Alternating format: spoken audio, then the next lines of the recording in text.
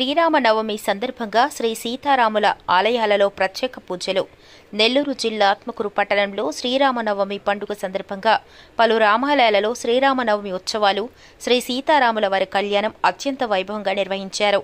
శ్రీ సీతారాముల కళ్యాణాన్ని కన్నుల విందుగా తిలికించేందుకు భక్తులు భారీగా తరలివచ్చారు. ఆలయ పూజారి శ్రీరామనవమి విశిష్టత శ్రీరాముని గుణగణాలు ఆయన పరాక్రమం గురించి భక్తులకు కళ్ళకు కట్టినట్లుగా వివరించారు. అనంతరం భక్తులకు తీర్థప్రసాదములు పంపిణీ చేశారు.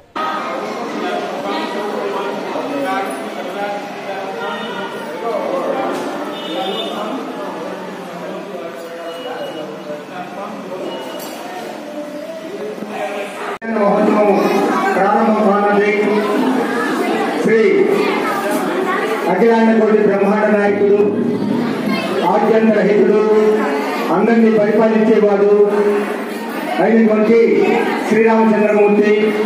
సాక్షాత్ భూమిలో నుంచి పుట్టినటువంటి అవనిజ అయినటువంటి సీతాదేవి యొక్క కళ్యాణము ఇక్కడ పంతొమ్మిది దేవస్థానంలో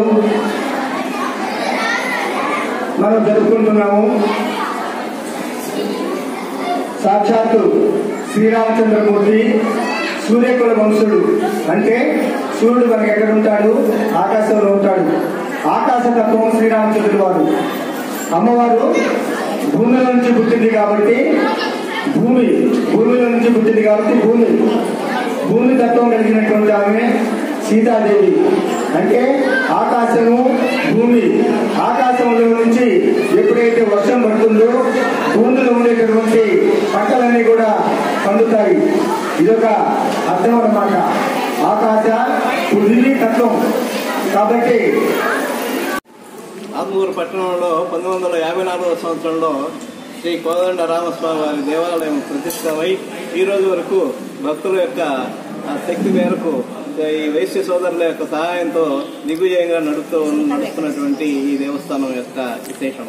ఈ రాముడు వారి శ్రీరామనవమి రోజు చైత్ర మాసంలో శ్రీరామనవమి నాడు శ్రీరాముడు జన్మించినాడని మనకు పురాణం చెప్తూ ఉంది.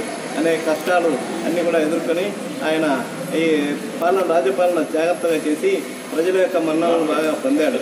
దీనికి ఈ ప్రసిద్ధికి మనం ఎలా ఆలోచించాలంటే ప్రతి గ్రామంలో కూడా ప్రతి బజార్లో కూడా ఒక్కో గ్రామంలో కనీసం సుమారు నాలుగైదు రామాలయాలు వెలిసి రాముల వారి యొక్క చరిత్ర రాముల వారి యొక్క గొప్పతనాన్ని ఆ విధంగా ప్రపంచంలో నిరూపించుకున్నవాడు శ్రీరామచంద్రుడు. దశరథ మహారాజు యొక్క కుమారుడు ఏంటి శ్రీరామచంద్రుడు? ఆ విధంగా రాజపాలన అనేక సంవత్సరాల పాటు రాజపాలన చేసి చాలా మంచి పేరు తెచ్చుకున్నటువంటి పరిస్థితి. మరి అట్లాగే రాముడు వారు యొక్క అవతారము శ్రీమన్నారాయణ యొక్క అవతారం అని మనం మనకు పురాణ శాస్త్రాలు అన్ని కూడా చెప్తున్నాయి. సీతా మహాలక్ష్మి కూడా అమ్మవారు శ్రీ మహా సీతా మహాలక్ష్మి లక్ష్మి అమ్మవారి యొక్క అవతారమైనటువంటి ఒక కథ కూడా మనకు పురాణం చెప్తూ ఉంది. రాముడు లక్ష్మణుడు భర్తుడు శత్రుఘ్నుడు అనేటువంటి నలుగురు సోదరులతోటి కలిగినటువంటి వాడు శ్రీరామచంద్రమూర్తి. రాముడు కుశుడు అనే ఇద్దరు కుమారులతోటి ఆయన ఈ రామాలయాన్ని ఒక ఒక ప్రసిద్ధమైన గ్రంథాన్ని మనకు పురాణంగా నిలవలసి ఉన్నారు. ఇక భక్తులందరూ కూడా ఈ రాముల వారి శ్రీరామనవమి ఉత్సవాలంటే ఇక్కడ శ్రీరామనవమి ఉత్సవాల్లో ఇంకోటి ఉంది. శ్రీరామనవమి ఉత్సవాలు ముస్లింలు కూడా గుంటూరులో బ్రహ్మాండంగా చేసుకుంటున్నారు. అది ప్రసిద్ధి. అట్లాగే ఈ ఈ అంటే భారతదేశం అంతా కూడా భారతదేశం విదేశాల్లో కూడా రాముడు వారి చరిత్ర చాలా ఘనరూపం అయి ఉంటుంది. అందరూ కూడా భక్తి శ్రద్ధలతో ఈ కార్యక్రమాన్ని జరుపుకుంటున్నారు. ఈ రోజు మా దేవాలయంలో నా యొక్క పూజా కార్యక్రమాన్ని దిగ్విజయంగా చేశాము. రాముడు వారు అందరూ కూడా